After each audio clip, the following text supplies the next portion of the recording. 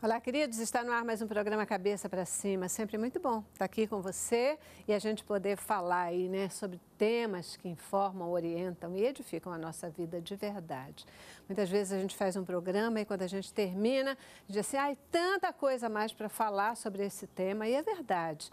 Mas eu quero lembrar que a nossa missão aqui é provocar você, tá? A gente quer provocar você e aí você vai buscar mais informações. E se você quiser que a gente volte ao tema, é só pedir.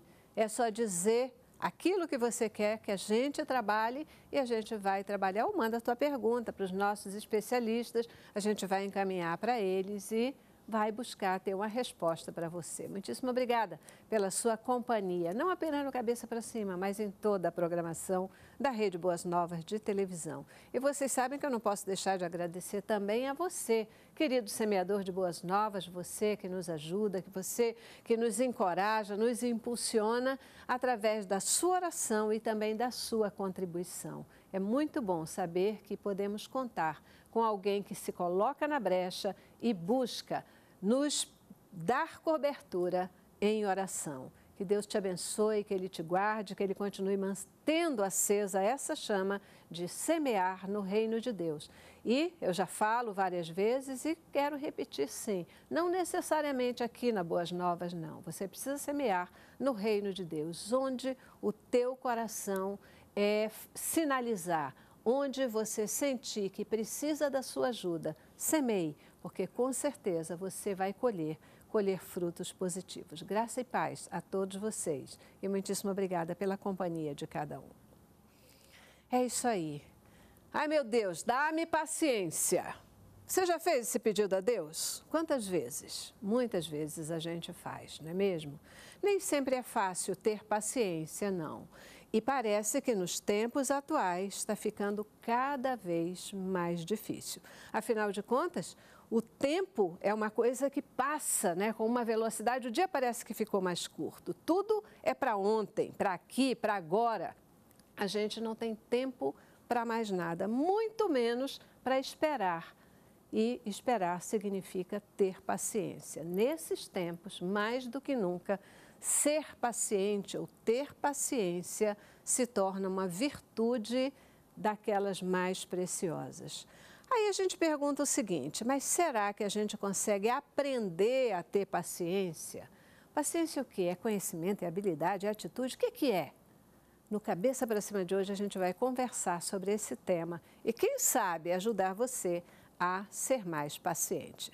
Veja o nosso informativo.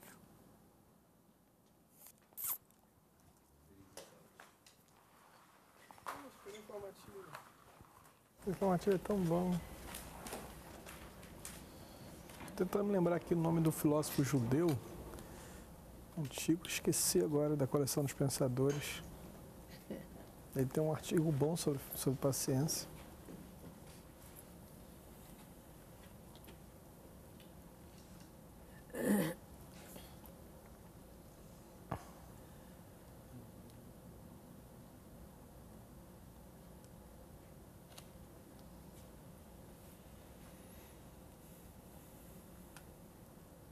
Atenção, vou voltar na câmera 1, 0 para mim, Vitor, VT girando. 5, 4, 3, 2, 1, gravando.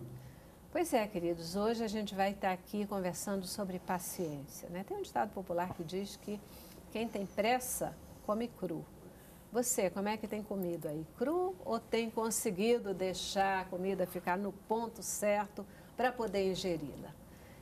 Muitas vezes a gente perde grandes oportunidades porque a gente não tem a paciência necessária para lidar com o que precisa. Importante a gente falar sobre esse tema, por isso que nós convidamos Jairo Carioca, pastor e psicanalista, para nos ajudar a refletir sobre esse tema. Sempre bom ter você aqui. Celeste, eu sou uma pessoa abençoada por Deus, né? De estar sempre retornando a esse programa. sou um felizardo. Estar aqui é muito bom, eu gosto de participar, gosto de estar aqui com vocês. Né? E falar sobre paciência é muito bom, né? Porque, como você já falou antes, né? A paciência é uma virtude. Então, ela não é algo inato, não nasce com a gente. A gente precisa praticar, adquirir, aperfeiçoar. É. Isso é muito bom. Pois é, né? Mas nem, nem sempre fácil, né? Sim, não, nem não é fácil. Como toda virtude, ela não é fácil. Mas a gente vai já já entender como é que a gente pode aí ganhar competência nessa é. questão da paciência, né? Também conosco Leonardo Távora. Leonardo é pastor presidente da Primeira Igreja Batista em Padre Miguel. Sempre uma delícia, é um prazer ter você aqui com a gente. Prazer é todo meu, Celeste, de poder estar aqui mais uma vez retornando e agora para esse assunto que diríamos que está quase que em extinção, né? Está todo mundo meio agitado, meio apressado, meio estressado e vai ser muito bom falar sobre isso. Pois é, né? É, a gente vive num tempo que é assim, né? Tudo é para ontem, né? Aliás, se você não receber, é, não res, é, responder a mensagem do WhatsApp em um minuto, alguém já vai estar reclamando. Não olhou, não viu, não isso, não aquilo. É, é, parece que o tempo uh, diminuiu, né? A gente tem essa sensação de que o tempo diminuiu, porque também a gente não tem mais tempo para ficar sozinho, para a analisar melhor as coisas. O tempo reduziu mesmo? Existem fatores sociais né, que, que vão apontar sobre esse fenômeno da redução do tempo.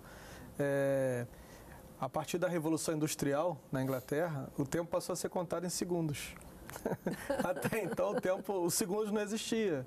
Né? Quando você vai na Bíblia, você fala assim, o tempo de uma caminhada, o tempo de um pôr do sol, né? É, os, os, antigos contavam primaveras, ou contavam invernos, ou verões. Então, era de uma estação a outra. Então, o tempo era mais longo. A velocidade também era a velocidade máxima, era a velocidade de um cavalo. Né? Então, quando você tinha uma corrida, se dizia, na velocidade de um cavalo, que é em torno de 60 a 70 km aí por hora, né? Uhum. Só que 60, 70 km por hora de uma bicicleta faz isso. Então, é por isso que os carros têm não sei quantos cavalos. A velocidade né? aumentou, o, a Revolução Industrial ela começa com essa questão de se contar o tempo em segundos, mas isso também se modificou. Hoje nós temos na, estamos na revolução né, da robótica. Então hoje o tempo é contado a partir de nanosegundos. Se você envia um e-mail, o e-mail ele demora em torno de 0,23 a 22 segundos. Se demorar o outro, já reclama, né? Por que está demorando? Chegou Os aí. aparelhos que nós compramos, já perguntamos qual a velocidade da memória, qual a velocidade. Então, cada vez mais nós estamos preocupados com a velocidade. Eu acho que a maior inovação do WhatsApp foi poder tirar aquela coisa do cara tá vendo se a mensagem chegou ou não. Você tira a cor, pronto. Mas já angustiou outro do outro lado. Uhum. Né? Você manda a mensagem já querendo a resposta. Então, a, a, a velocidade ela é real. Tá? Nós, nós estamos cada vez mais é, dentro desse, desse contexto, como eu falei, que é um contexto social. Né? A, a humanidade está interligada. Né? Hoje você pode ter. Você teve um ineditismo na guerra, por exemplo, que foi a guerra do Iraque, onde você viu a guerra em tempo real né? coisa que não se via, coisa que não existia. Então, essa coisa do tempo real está cada vez mais forte dentro de nós. Nós não queremos mais uma notícia que aconteceu ontem, nós queremos saber no instante em que ela está Aliás, acontecendo. se a gente sabe de tarde o que aconteceu de manhã, já é notícia velha. Já é né? é notícia já velha. É notícia a gente velha, quer um instante. É. Nós vivemos, acho que a palavra é essa, vivemos o instante. É. Tem um, um, acho que ele é filósofo, Rabindranath Tagore. É, filósofo. Né? É, ele diz assim, falando nessa coisa do instante, do momento, né? Ele diz que é preciso viver o momento presente, porque é o único que está em nossas mãos, o único em que podemos ser felizes. Há controvérsias, na minha opinião, uhum. mas tudo bem. Velocidade é antagônica à paciência? A Bíblia fala que nós devemos perseverar na esperança, né? O, o, desesperado é alguém sem esperança, alguém sem paciência, acaba assim sendo é, é, antagônico. O próprio salmista ele, ele, diz: Esperei com paciência no Senhor. É, e ele se inclinou para mim e ouviu o meu clamor. Uma coisa está muito ligada à outra, né? Quem, quem tem paciência espera. Inclusive, Paulo vai dizer isso, né? Que a paciência, ela produz né, a esperança, a perseverança. Então, se eu não tenho paciência, eu sou um desesperado. Isso vem conforme o Jairo já falou, né? E é uma série de fatores sociais, isso começa até mesmo dentro de casa, na mais tenra idade, a criança que não tem limite. Isso culpa às vezes dos pais, porque é, eu sempre falo dos, dos filhos, né? Eu tenho bebês, tem um de quatro e tem uma de um ano, um ano e oito meses. Eu esperei eu aprendi a esperar é eles terminarem de chorar por coisas banais. Então, tem pais que a criança é, chora, verdade. logo pega no colo. Uhum. E aí eu já estou ensinando essa criança a ser uma criança que não sabe esperar. Uhum. Porque ela chorou, eu peguei no colo, na intenção de que pegando-a no colo ela vai parar de chorar, eu já estou ensinando essa criança a ser uma criança impaciente. Uhum. Então, chora um pouquinho, porque chorar não mata ninguém e ela pode esperar, porque há tempo para todas as coisas. É verdade. Como criança é esperta, né, ela vai perceber logo se ela chorar, pegar no colo, ela vai ficar chorando o tempo todo, né? Exatamente. Porque criança realmente é esperta. Eu, eu queria voltar nessa pergunta que você fez, que eu acho interessante, essa coisa uhum. da velocidade e paciência. Uhum. Vai lá. Porque a, a, ser veloz não significa ser impaciente, né? É, eu acho que são duas coisas que não são antagônicas, eu acredito que sejam paralelas. Né? Existem determinadas funções que exigem mesmo a questão da praticidade, né? a questão da, da velocidade. E existem certas funções que vai exigir, é, exigir a paciência. Então, acho que as duas caminham lado a lado. Né? Por exemplo, um especialista, ele não consegue se tornar especialista com menos de 10 anos. Então, exige paciência. Né? Mas também a velocidade, porque senão ele vai ficar a vida inteira dentro desse, desse modelo né, de, de especialização. Então, acho que velocidade e, e paciência não são antagônicas, acho que são paralelas. Não, pressa que seria, né? É, a pressa, isso, a pressa. Uhum, a pressa seria. É, é, tem uma música do, do, Não sei se a letra é dele, mas eu, eu conheço a música, ela é um louvor cantado pelo Marcos Almeida, que é muito linda, a letra toda é linda, mas tem uma frase que ele diz assim, né? É, que esperar em ti, esperar no Senhor, é caminhar. Caminhar, né? é, exatamente. É caminhar, né? Quando a gente espera exatamente. no Senhor, a gente não está parado, a gente está caminhando, a gente está progredindo. Você tinha ansiedade no Nordeste, né? Enquanto descansa, carrega pedra. Minha avó dizia muito isso para mim, meu filho, enquanto descansa, carrega pedra. mas isso é outra história, já. Não, mas a ideia do, mas, mas essa é, ideia é, do ócio verdade, criativo, é verdade, né? Muito é verdade, importante estar tá falando. A ideia do, do filósofo Domenico De Masi, que é o ócio criativo, né? Enquanto uhum. você espera, caminha. Caminha. Porque senão a gente entra no outro, coisa, a gente entra né? no outro conflito, que às vezes o sujeito sujeito muito paciente, ele não é paciente, na verdade ele é um procrastinador. Uhum. E aí então a gente aproveita para dizer assim, vamos definir paciência. O que, que é paciência, né? Porque a gente fica isso, ah, o cara é muito lerdo, né? Tem paciência, é um cara paciente, uma, uma pessoa paciente. Um cara pode ser uma mulher também, tá? pode ser a cara. Pode ser a cara, uma cara. Né? É, é, aí a gente diz logo, ah, é muito lerdo. Às vezes é uma pessoa paciente, não necessariamente paciente não precisa ser lerdo, mas o que é paciência? É bom você falar isso porque a, a, palavra paciência, ela não tem uma definição científica, é a mesma do senso comum. Né? Ela vem do latim, ela tem uma raiz, um radical latino, que é o paz, que é o mesmo de passagem, de passatempo, de passado, é a mesma...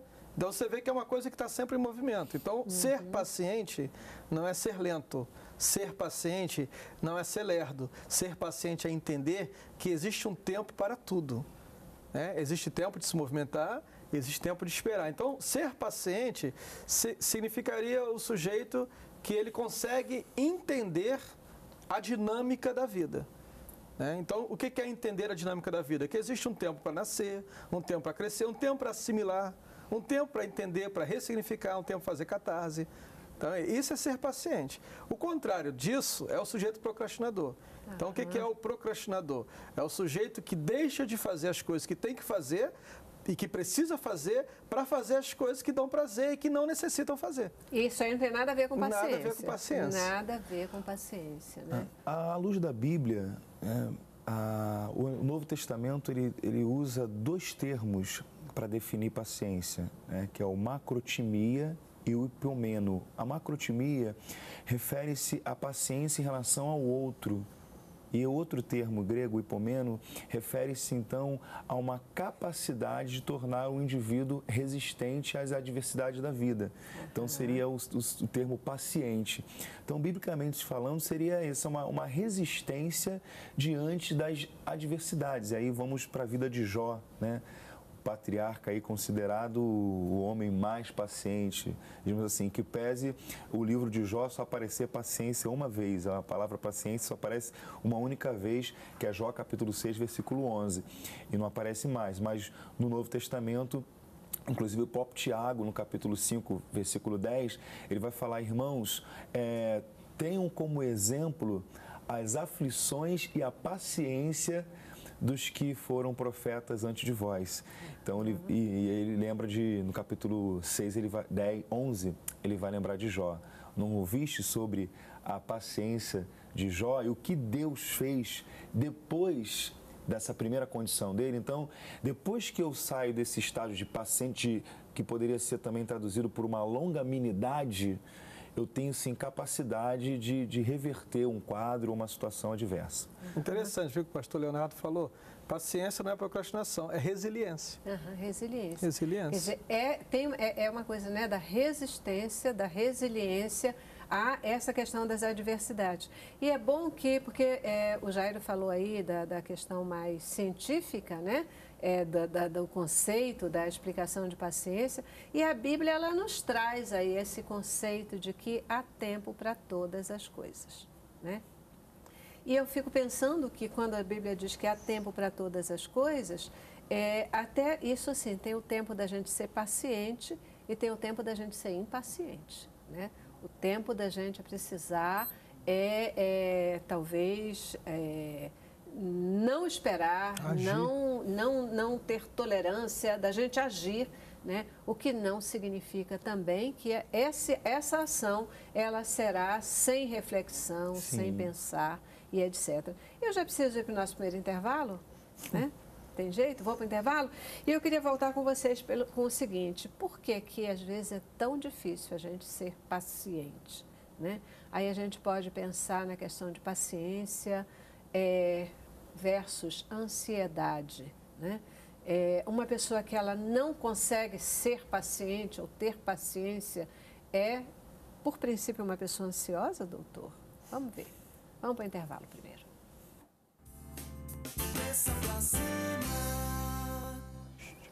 Estamos falando aqui sobre paciência. Quando você olha para você mesmo, como é que você se considera? Você classifica, mas classificar é ruim, né? Como é que você se considera? Você se considera uma pessoa paciente? Normalmente, no seu dia a dia, você é paciente ou você é mais pavio curto, impaciente, uma pessoa que não sabe esperar, não tem resiliência, não consegue ser paciente? Como são as expressões, pastor? As duas expressões? Macrotimia. Macrotimia. Macrotimia é essa é paciência, é paciência em relação, ao, outro, relação ao outro. A mais difícil do mundo. Essa daí é a mais difícil do mundo, né? Tudo Porque, com outro é difícil, é, né? Com a gente, a gente tem o máximo de paciência. Que qual é o nome? Macrotimia. Não, é com a gente mesmo. Hipomeno. Hipomeno, olha só.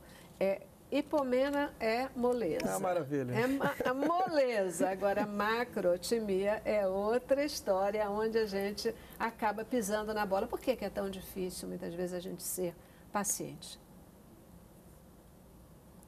Ah, você tinha terminado com uma pergunta que eu, que, é, que eu acho que junta com essa daí, né? Por que, que é tão difícil nós sermos pacientes e o conceito semântico disso, né? Da, da ansiedade. É, é, muito interessante porque a ansiedade, a gente tem, inclusive você já fez esse, esse programa, a gente tem uma ideia muito errada de ansiedade. Né? A ansiedade vem de ânsia, é aquilo que, que é o um anseio. Então é o que vai me fazer movimentar, é o que vai me fazer entender que o tempo da paciência acabou, que está na hora de agir. Né? E isso é uma escrita biológica de milhões de anos dentro de nós. Então, a ansiedade nesse aspecto é boa. Quando é que a ansiedade é ruim? É, é uma confusão semântica, né? Foi uma tradução errada de Freud, né? Que quem cria esse termo é Freud. Até que enfim Freud faz alguma coisa errada, caramba, né? Freud tem várias coisas erradas que a gente não, não tá falando tá aproveitando, Você está aproveitando. Ah. tinha que implicar comigo. é, houve uma, na verdade não foi Freud que errou, foram os tradutores. houve um erro de tradução porque a tradução da obra de Freud do alemão, ela vai para o inglês. Né? E aí no inglês se, tra se traduz a palavra alemã que ele utiliza para ansiedade, quando na verdade a palavra correta seria a tradução angústia. Uhum. Então o adoecimento não é ansiedade, adoecimento é angústia. Então o, o sujeito impaciente não é um sujeito ansioso. Sujeito impaciente é sujeito angustiado. E você tem essa nomenclatura muito rica dentro da Bíblia, né? Você tem Salmos, por exemplo, que vai falar sobre angústia, né? Porque minha alma se angustia. E você tem conceitos de angústia até a morte. Uhum. Jeremias fala que a angústia dentro dele por ver Jerusalém se acabar fazia os seus ossos doerem. Então você tem uma questão fisiológica surgida a partir de um fenômeno psíquico, né? Então a, a, a angústia é, é desse sujeito que não espera, desse sujeito impaciente, ela acaba virando uma patologia sim, acaba virando uma doença sim. Uhum, então a uhum. paciência, como você colocou, é uma virtude e como toda virtude, ela não nasce no sujeito, ela precisa ser adquirida. Como eu adquiro paciência? Bom, o segredo está na Bíblia mesmo, a coisa do resilir. O que é a resiliência? Engraçado que a resiliência, Celeste, vem da física. Né? A resiliência do ferro se transforma em aço. Então, reselir é colocar um determinado objeto a uma temperatura, a um sofrimento, e esse objeto, mediante aquele sofrimento, vai me causar uma resposta. Então, o ferro, no sofrimento do fogo, traz uma resposta, ele fica melhorado, ele se transforma em aço. E aí, o apóstolo Paulo, pegando o gancho do pastor Leonardo, o apóstolo Paulo vem dizer que o sofrimento produz paciência. Então, por que nós temos uma geração que não tem paciência? Zygmunt Bauman vai falar isso, né? O grande filósofo, que ele vai falar que vivemos no momento das sociedades líquidas. As coisas estão líquidas. A ordem do momento é prazer, e prazer é consumo. Uhum. Então, eu preciso consumir. Consumir, consumir, consumir. Nessa coisa de consumir, as identidades vão se perdendo. Na coisa do imediatismo, o prazer tem que ser agora. E o imediatismo, a única coisa que ele gera é a alienação. Então temos uma sociedade alienada que não tem paciência e por isso está adoecido. Uma série de fatores, né? É... O Jário falou aqui sobre a questão do prazer.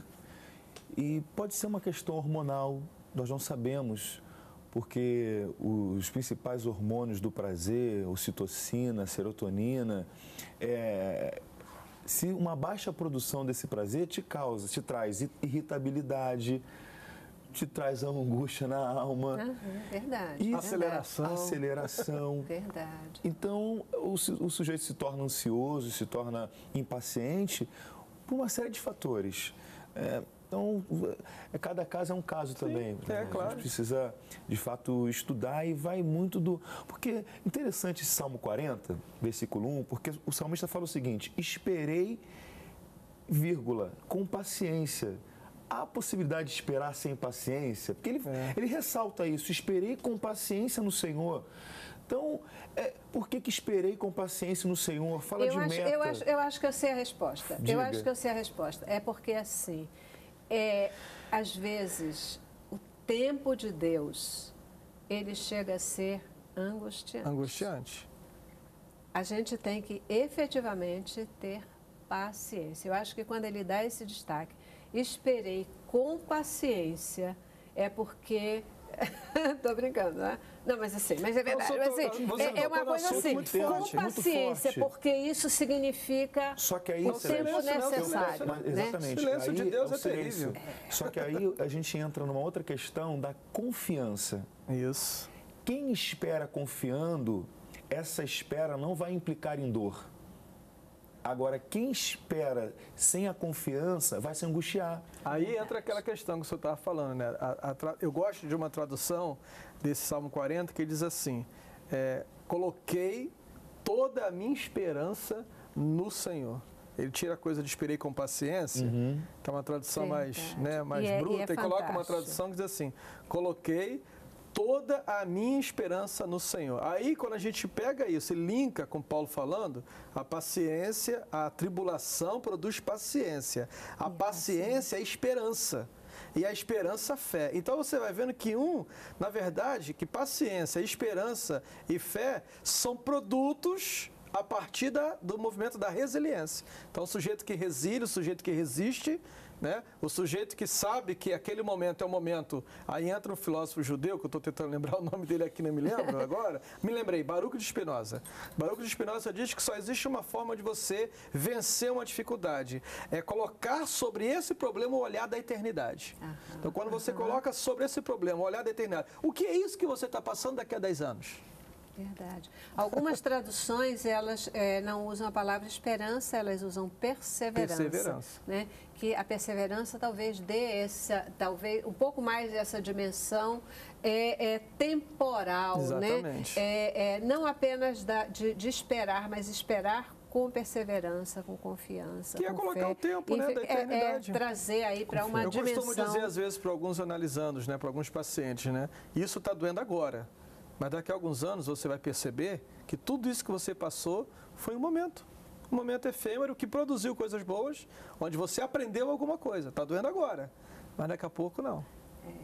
O Marcos Almeida, que eu falei ainda há pouco, é porque é, é, é, eu estou na fase de um, um, CD dele que tem músicas, letras assim fantásticas mesmo.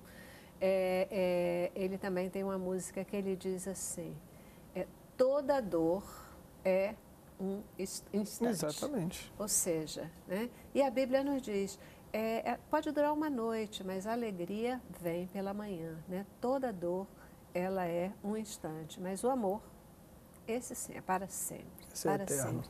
Tolerância e paciência, qual a diferença? Porque às vezes a pessoa é tolerante, não necessariamente paciente. Pode ser isso? Pergunta boa para um pastor responder, né?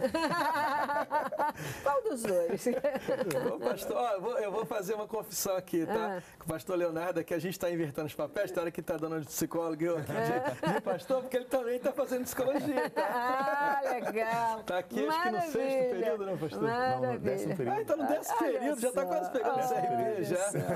Olha só. Esse ano, se Deus quiser, a gente quer termina. Ir, e quer ir para psicanálise. Ah. Contando os meus segredos. Ai, ai, ai, ai, Mas eu gosto muito da psicanálise também, gosto demais. Eu... É, a tolerância. Tem um texto de Paulo que fala que nós devemos suportar uns aos outros que em maravilha. amor.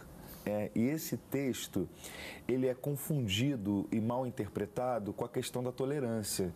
Porque quando ele fala assim, ó, suportar uns aos outros em amor, significa dizer o seguinte, ô Jair, eu te amo, mas eu, te, eu, só te suporto. Na verdade, eu estou te eu suportando. Te eu te aguento. Eu te tolero. É, a gente só está junto aqui porque eu te tolero. Mas esse texto, na verdade, quando ele fala de suportar uns aos outros em amor, suportai-vos uns aos outros em amor, está falando sobre o sustento. Suporte. Né? Suporte né? mesmo.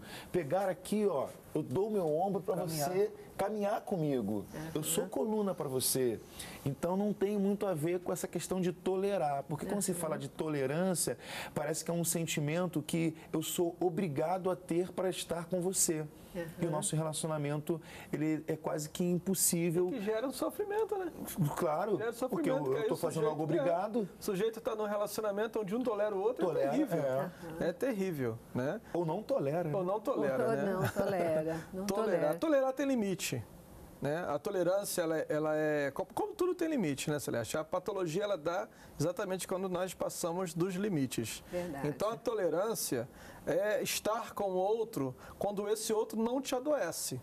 Agora, quando esse outro te adoece, aí já você saiu da tolerância já foi para o adoecimento. Aí já é patológico. Paulo diz: no que depender de vós, tenham paz com todos. Mas tem um limite. Ele está colocando esse limite aí. Exatamente. Do que depender de vós. Você está fazendo a sua parte. A partir do momento que você percebe que não há mais condições, andarão dois. Ao pegar o, o, o gancho do pastor Leonardo aqui, né? Só tem uma coisa que Paulo diz que a gente não deve parar e nem cansar de fazer o bem. É. A gente está em tudo tem limite. É Só fazer o bem, não. É. Não nos cansemos de fazer, fazer o bem. bem. É verdade, Agora o restante põe o limite. Uhum. Sempre tem limite. Para a gente entender aí é, a importância, né? a importância de limite. Mas aí, é, é, é eu acho que para mim não ficou muito claro, uhum. dentro da, de toda a sim, colocação sim. de vocês, a relação, semelhança e diferença entre a tolerância e a paciência. Né? Eu tolero o outro. Eu tenho paciência com o outro ou não? Eu diria, Celeste, que são quase que palavras sinomíneas, né? São, são palavras que quase são uma, uma sinônimo é. da outra, equivalente à outra, né? Uhum. A partir do momento que eu tolero, eu tenho paciência uhum. com o outro. O sujeito intolerante no trânsito é aquele sujeito que quando o outro fecha, ele xinga, é o sujeito que quando o outro não dá certo, ele, ele fica irritado, é um sujeito impaciente. Então eu diria aí, se eu tentar te responder aí a você e ao público que nos assiste, seriam palavras sinomíneas, né? Uhum, Uma equivalente uhum. à outra. Eu queria pegar esse gancho então para falar do, desse, dessa questão do grego, uhum. né, que ele, o pastor Leonardo colocou, em relação ao, ao outro. A psicanálise vai trabalhar muito essa questão da alteridade, né? Uhum. A alteridade é a, é a minha relação com o outro. A partir do momento em que eu penso né, as coisas que estão acontecendo, como eu disse, a dinâmica da vida, na perspectiva de um outro, eu passo a ser paciente com ele. Então, por que, que essa pessoa está gritando comigo? Existe uma razão. Uhum. Né? Então, quando eu, eu não aceito que ele grite comigo, essa é uma posição de intolerância. Agora, uhum. deixa eu entender por que ele está gritando comigo. Aí é uma outra situação. Então, o sujeito paciente é um sujeito, Celeste, que ele é capaz. O que é uma paciência? É o sujeito que é capaz de refletir no meio do caos. Uhum. Né? Inclusive, a gente pode até usar o, o, o, aqui a metáfora do tornado. No meio do tornado, não tem nada. Uhum. É silêncio absoluto. A, a, a, o furacão está em torno. Uhum. No meio, não. No meio, não. Então, o sujeito paciente é esse sujeito que consegue estar no olho do furacão. Guimarães Rosa vai falar, né? na terceira margem do rio. No olho do furacão. No olho do na furacão. terceira margem do rio. Nem na direita nem na esquerda, está no meio. Está ali centrado. Então ele consegue refletir as coisas que estão acontecendo. Por que, que aquele está gritando? Por que, que essa criança está chorando? Por que, que essas coisas estão acontecendo? Ele vai refletir e quando ele reflete, ele manifesta a paciência dele, porque o outro não refletiria. É interessante né, essa relação do que você acabou de colocar é, a relação da intolerância com a paciência, né? Porque a gente às vezes fica pensando que é, elas nem têm conexão. Ou você é paciente e, e, tolerante, ou se você é um intolerante, você né, não, não é, é, paciente, mas a intolerância no sentido de é não tolerar, de você não aceitar, não mas aceitar. não necessariamente de, em não tendo tolerância, perder você a perder a paciência, Exatamente. você atropelar. Mas não, mas não pequeis. Mas não pequeis. Ou o profeta gentileza, né? gentileza, mas gentileza gera gentileza. É isso aí. O paciente é um sujeito gentil. É verdade, é verdade. Você Normalmente pode não tolerar é o erro. É mas não ter um, um, um, surto. Isso, não ser agressivo não ser agressivo. Fala. Aliás, é o que Jesus faz com a gente o e, tempo e todo. Que, e que em psicologia né? a gente o tem uma palavra. O tempo todo. Ele não tolera é. o erro, uhum. nunca. Mas nem por isso ele sai destruindo, Exatamente. apedrejando ninguém, vou... né, matando ninguém. É. Ele não tolera. Eu vou aproveitar ele que ele está nessa fase da psicologia. Existe uma coisa na, na terapia cognitiva comportamental que é a assertividade. Sim. Então o sujeito ele, ele é paciente mas ele é assertivo. Então, o que é o sujeito assertivo? É preciso que alguém diga, ele diz. Uhum. É preciso que alguém tome atitude, ele, ele toma. toma. É preciso que alguém fale, ele fala. É preciso que alguém pegue o chicote e expulse esses cambistas. É, ele... Jesus já pega o chicote e expulsa os cambistas. Pelo senso comum, pode ser é, classificado como alguém que perdeu a paciência. É, claro, claro. Uhum, mas, mas ele foi um sujeito assertivo. Assertivo. Uhum, então, vai muito daquilo que o senso comum entende como paciência ou não.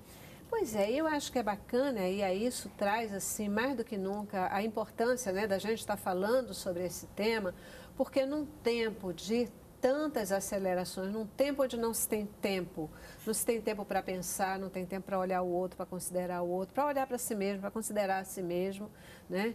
É, a gente está falando aqui num tempo onde não existe, onde, onde ser paciente parece ser mal, a gente está dizendo é preciso entender o que é a paciência e a gente vai ver que ser paciente consigo mesmo ou com o outro pode é, trazer muito mais, pode não, vai com certeza trazer muito mais qualidade de vida, vai permitir com que a gente é, é, tenha muito mais sucesso com né? certeza. Né? e seja muito mais assertivo de verdade né? em todas as questões que a gente fizer na vida, ou seja, fazer a coisa certa no momento certo, no tempo certo, Claro que ninguém só faz coisa certa no tempo certo. Ah, claro que não. Né?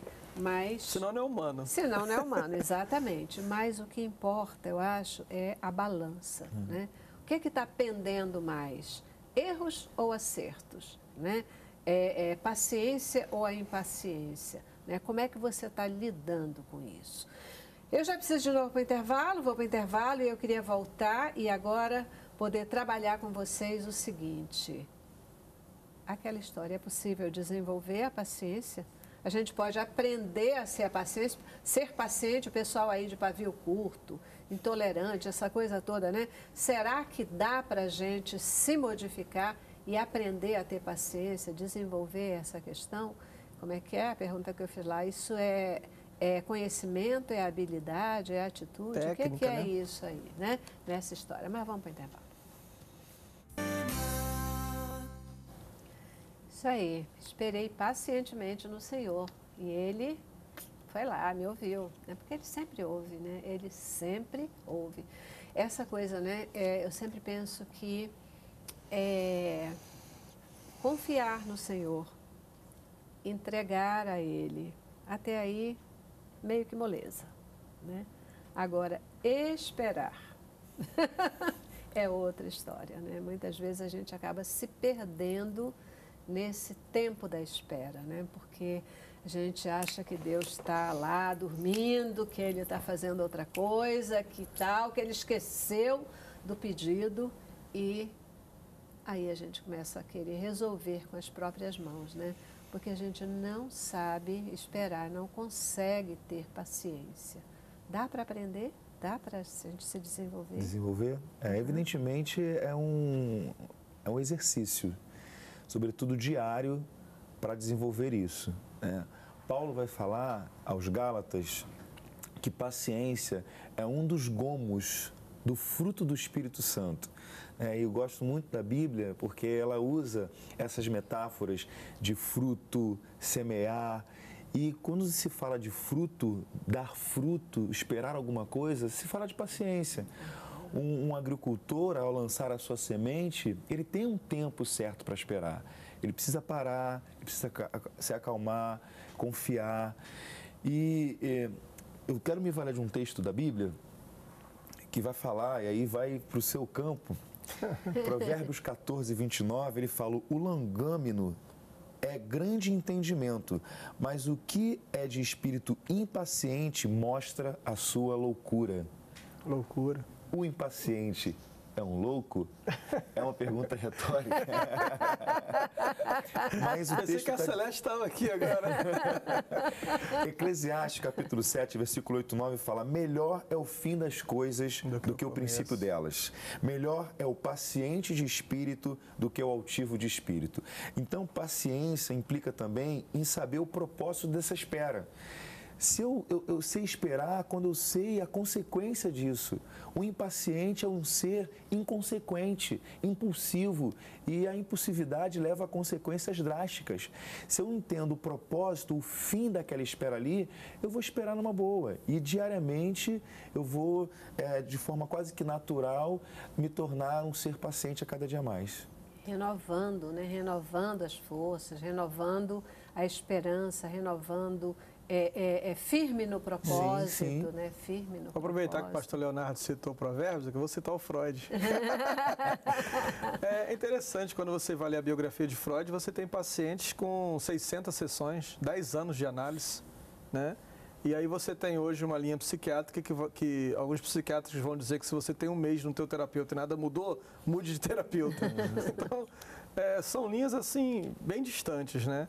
Ah, você citou Tanagori, e a filosofia de Provérbios, vem na mesma linha que a filosofia oriental, eles têm um outro olhar, né, uma outra forma de ver a vida. Né?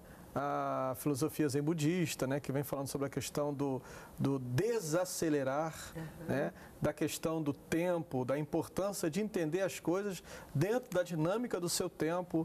Você tem um livro escrito por um filósofo é, é, dentro do pensamento oriental, que é a, a, a, arte do arqueiro zen, onde ele vai falar sobre um período que ele ficou quase duas horas segurando arco e flecha. E aí o mestre diz para ele, quando é que eu atiro? O mestre diz, só quando você não sentir mais o arco e nem sentir mais a flecha. Quando você e o arco e a flecha se tornarem uma coisa só. Então, acho que a paciência é esse exercício de entender, como diz o mestre Rubem Alves, né, de entender e escutar a voz do silêncio. Rubem Alves dizia que um bom terapeuta era aquele que tinha adquirido a arte da paciência e que, em vez das pessoas fazerem cursos de retórica, elas deveriam fazer escutatória, uhum. porque o paciente, a pessoa paciente, é aquela que aprendeu a escutar. Né? Por que Deus fica em silêncio? Para nós podermos nos escutar, nos ouvir. Então, nós não queremos nos ouvir, nós queremos ouvir alguém, um profeta, Deus, qualquer um, menos a nós mesmos. E aí Lacan veio dizendo que doenças são as palavras que nós não falamos. Então nós precisamos falar, nós precisamos ouvir. Ouvir que as coisas não estão bem. Então, assim, é prática, como o pastor falou, é exercício, é uma coisa que não nasce comigo. A, gente tem um mito, Celeste, de acreditar que todo idoso é paciente. Uhum. E que toda criança, né, de todo jovem, é hiperativo. É, é hiperativo. E na verdade é um mito. Você uhum. tem idosos extremamente hiperativos e você tem jovens pacientes. Uhum. Porque é uma prática. Né? É, você sabe disso. Eu, por exemplo, tenho como hobby o bonsai.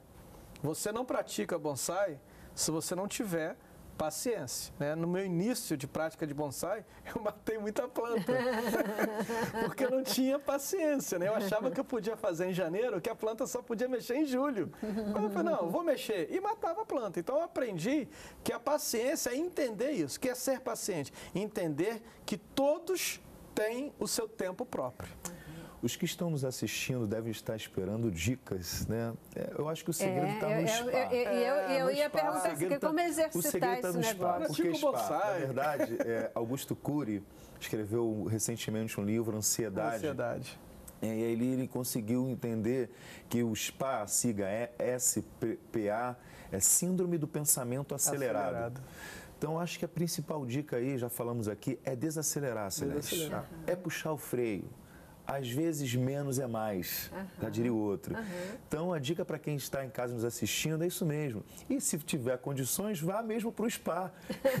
passa lá um dia, passa uma semana lá meditando, esquecendo, deixa o celular desligado, tira essa, essa coisa que com a ascensão da tecnologia a gente ficou muito antenado, interligado, globalmente falando, mas ao mesmo tempo estamos escravos disso, uhum. dessa velocidade que veio para nos atender mas houve uma inversão e nós estamos nos escravizando por conta disso. Nós, ao despertarmos, não nos ajoelhamos mais e oramos agradecendo a Deus. Nós pegamos o celular para ver se tem, tem uma mensagem, que eu ainda não respondi. Que rolou na madrugada. Que rolou na madrugada, exatamente, pastor. Então, é. desacelera, puxa o freio, é. frequente o SPA, cuidado com a síndrome do pensamento acelerado, porque a gente tem uma enxurrada de, de informações e nós nos vemos obrigados a conhecer tudo, a saber tudo, a saber a notícia, né, o breaking news, a última notícia da hora, e às vezes nem sempre é necessário isso tudo. Essa coisa de saber tudo é angustiante também, né? Ralph Waldo Emerson vai dizer que o saber é angústia. Né? E aí Nietzsche diz que a ignorância é uma benção. O saber é angústia. Então, assim, nós vivemos na, na, aceleração da informação. Desacelerar. Às vezes eu não posso ir, eu vou ajudar o telespectador que não pode ir para o spa, né? Uhum. É. Isso aí. Eu não posso ir para o spa, para onde eu vou? A coisa pode ser diária. Um segredo, por exemplo, é colocar limite no telefone. Né? Uhum. Seu telefone desliga a que horas? seu telefone desliga às 10 horas? Eu mesmo, vou pegar, né, vou, vou me pegar como exemplo. Eu passava o dia inteiro no consultório atendendo pessoas. Chegava em casa, às vezes ia dar aula. Eu chegava em casa e sentia minha mente muito acelerada. Hum. Então eu passei a delimitar, né? Meu, meu celular todo dia às 11 horas desliga. Automaticamente eu respeito isso. Mas as pessoas reclamam se você desliga o celular. As pessoas reclamam se você não responde no Deixa minuto seguinte aquela mensagem. E aí? E aí que eu sempre falo com elas, o meu celular se desliga às 11 horas. e só liga às 6 horas da manhã no dia seguinte. Então é você, é, é preciso entender que é você colocando a você mesmo limites. Verdade. E eu estou brincando com essas questões, mas na verdade é, é, assim que a gente toca, né? A gente reclama é, essa coisa, né? Não tem tempo, a gente não tem, não tem, é, não consegue esperar, não é isso. Mas nós colocamos essas coisas para nós mesmos Exatamente. e cabe a cada um de nós tomar as rédeas da nossa própria vida para a, a poder mudar, para poder transformar, para inclusive entendendo a importância da paciência, né? a relevância dela na nossa vida, é querermos, decidirmos ser pacientes. Ser paciente. Ser pacientes. Acho que né? cabe aqui uma última fala do Freud, né? que ele diz assim: qual a sua responsabilidade nesse mal que te aflige? É isso aí, é isso aí. É, é, nós criamos as nossas próprias armadilhas e aí a gente mesmo também tem que começar a desarmar essas armadilhas para que a gente Exatamente. consiga é, tocar e ter uma vida melhor. O homem, se não do seu próprio pecado. Então, é verdade é uma, algo que, que não, não nasceu em nós, mas hoje está presente, foi desenvolvido. Na mesma proporção que nós conseguimos desenvolver, podemos também desenvolver a paciência. Exatamente. Diariamente é uma escolha. Difícil é, é, isso, né, pastor? Colocar é limites a si mesmo, é, né? É, colocamos limites nos nossos filhos, ah, desliga a televisão, colocamos limite em todo mundo, mas não colocamos limite é. em nós mesmos. É mais fácil, precisa, né? É claro, é sempre mais fácil dominar, controlar o outro. Uhum. E a nós mesmos. Então impõe a si mesmo, eu acho que o segredo é esse, impor a si mesmo limites. O sujeito trabalha o dia inteiro, fica até às 11, meia-noite no telefone. Quando ele vai dormir, ele não dorme. A mente dele continua uhum. trabalhando. Principalmente se ele foi dormir pensando na dinâmica daquele problema a mente dele continua trabalhando. Ele não dorme. Então ele acorda no outro dia mais cansado que quando foi dormir. E é ele não verdade. sabe por quê. Aí perde a paciência, porque perde a também paciência, né, a, exaustão, é, a exaustão física, ela faz isso com a gente, né? Nos deixa intolerantes, nos deixa impacientes, nos deixa sem condição dessa, desse relaxamento. E aí é, a gente nem consegue. Se alguém fala mais alto, você já. Ah, dormir vai, mal deixa a gente né? muito intolerante. você já vai pegar, nem consegue parar para pensar por que, que a pessoa está fazendo isso. Verdade. Né? Não tem a paciência necessária. É, é, paciência é, na verdade, uma virtude. Uma virtude. Uma virtude e, como eu disse lá no início, preciosa, preciosa. Como é bom quando a gente consegue é ter paciência com a gente, quando a gente consegue ter paciência com o outro, efetivamente com o outro. E como é maravilhoso a gente ver, a gente fala da ciência, fala dos estudiosos, de como eles, né, o que eles pregam, etc., mas a gente vai ver que todos esses princípios, eles estão na Bíblia, na Bíblia. de uma maneira absolutamente extraordinária e educadora. Interligada né? com o que o pastor Leonardo disse, né? A partir do, do, livro de Efésios, você tem um vínculo que é o amor. Então, se é um fruto do Espírito, ele surge a partir do amor. Uhum. Né? Então, a, a, o sujeito paciente é um sujeito que ama. Sem dúvida nenhuma, né? É, é, é, eu acho que é parte desse processo, Exatamente. desse fruto. Né? É, o amor Começa o amor a si a mesmo, paciência. né? É isso aí, especialmente o amor a si mesmo. Eu preciso ir para o nosso último intervalo. Vamos lá, e a gente volta para considerações finais. Ok. Intervalo. Cabeça pra cima. Cabeça pra cima. Isso aí, gente. Bom, né? Uma conversa gostosa aqui. Conversar com o pastor é muito bom, né? E quando esses pastores entendem também da, da parte da alma humana, da psique, aí o negócio fica extraordinário, realmente extraordinário. A gente sempre gosta de dizer assim, né? Hum, será que ele é paciente ou não é paciente? Dá para a gente é, falar assim rapidinho, características de uma pessoa paciente? Dá, dá sim, dá para falar. É, é, é, ele é normalmente é uma pessoa que escuta, né? A pessoa que escuta, a base dele é o amor, né? Ele só escuta porque ele ama. E é uma pessoa que tende a refletir mais sobre a dinâmica da vida. Ele uhum. é uma pessoa reflexiva. Uhum. Resiliente. Resiliente. Uhum. Feliz, né? Feliz. alegre. Alegre. Paciente alegre. É. E, e, a paciência é uma coisa interessante, porque ela contagia. É verdade, ela, ela é contagia. é contagiante. Todo verdade, sentimento é contagiante, verdade. né? E sentimentos positivos são muito bons. Estar ao lado de uma pessoa paciente te dá tranquilidade. É, você tem um exemplo disso na Bíblia. Você tem uma geração extremamente ansiosa.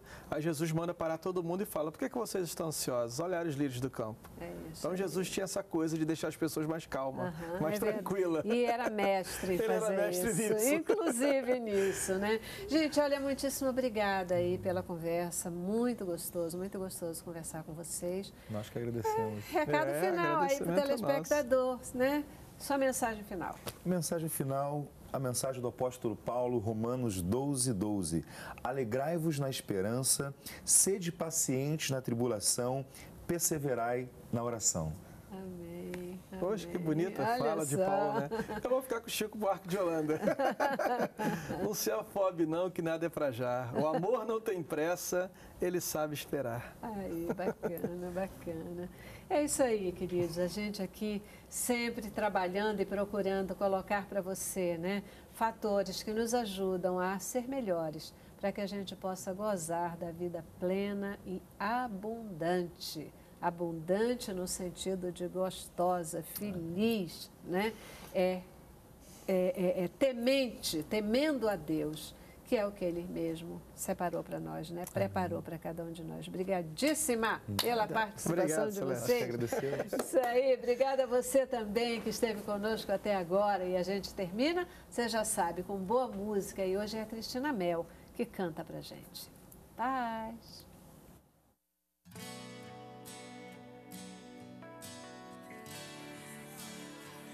O teu povo te adora, Senhor.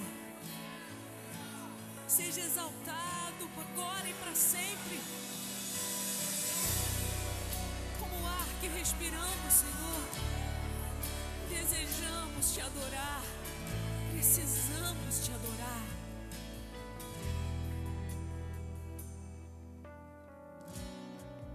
Se eu não te adorar, eu morro. Pra te louvar, então pra que fôlego? Eu nasci pra te adorar. Eu nasci pra te adorar.